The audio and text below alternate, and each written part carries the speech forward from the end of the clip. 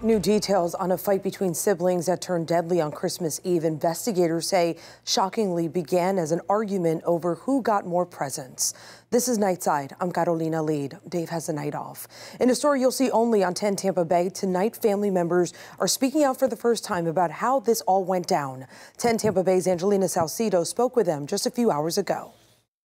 Carolina, this family is going through an extremely tough time right now after losing a 23 year old mom of two just a day before Christmas. Hours ago, they honored her life about a mile from here with a candlelight vigil. That's where I spoke to her mom off camera. She tells me that she was there when the shooting happened and is just trying to process all of this. But tonight, this family wants Abrielle Baldwin to know that she is loved and her kids are taken care of.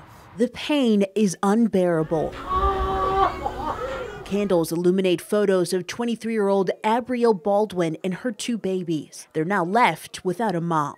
They're going to get taken care of regardless. Ariana Birch is Abrielle's younger sister. She was a really sweet person. She was just special.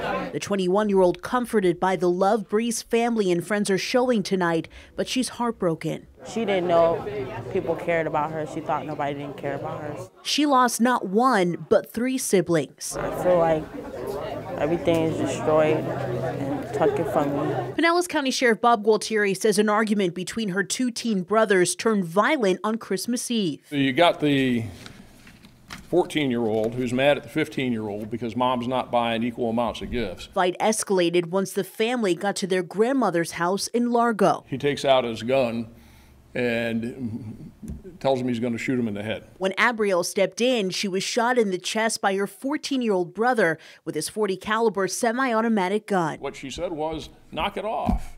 Leave it alone. Why are you doing this? It's Christmas. Seconds later, deputies say his 15 year old brother came outside and shot his brother shot one time in the stomach. We are not naming the teen brothers in this case because of their ages. The 14 year old still in the hospital tonight after undergoing surgery. He is recovering, charged with first degree murder. Those charges could later be upgraded. His brother is in a mental health facility getting treatment after threatening to take his own life. He's charged with attempted first degree murder. A tough loss for this family to process all three siblings gone right around the holidays. In Largo tonight, Angelina Salcido 10 Tampa Bay. Deputies are still trying to recover a 45 caliber semi-automatic gun. They're also working to figure out if both guns used here were stolen and possibly used in other crimes in our area.